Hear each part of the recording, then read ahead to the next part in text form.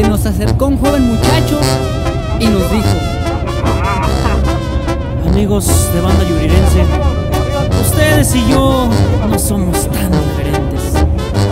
Ustedes trabajan llevando su música a todos lados y yo, yo trabajo cargando ladrillos.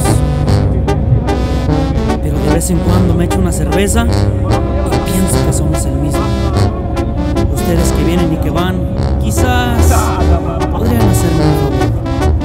Y echando mano a su bolsillo, sacó una carta toda doblada. Y esto, esto fue lo que nos dijo. Llévenle esta carta a mi mamá. Quizás pronto ustedes toquen en mi pueblo.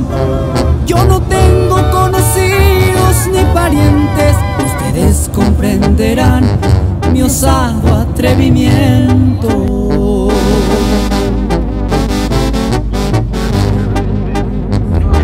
Pueblito es colonial y pintoresco.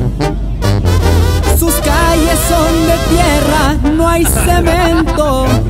En la plaza hay una imagen de San Judas, a la cual me encomendé cuando me vine a esta aventura. Por la calle principal está su casa.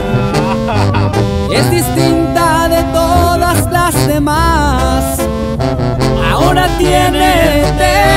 concreto y está pintada de azul, casi como el mismo cielo. Y efectivamente, cuando llegamos al pueblo, su casa era tal como la describió. Abrió la puerta una viejecita que apenas en pie se sostenía. Y esto fue lo que pasó.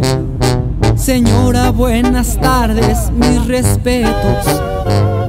Su hijo nos dio algo para Es una carta de la cual aquí la entrego. He cumplido mi promesa y mi camino seguiré.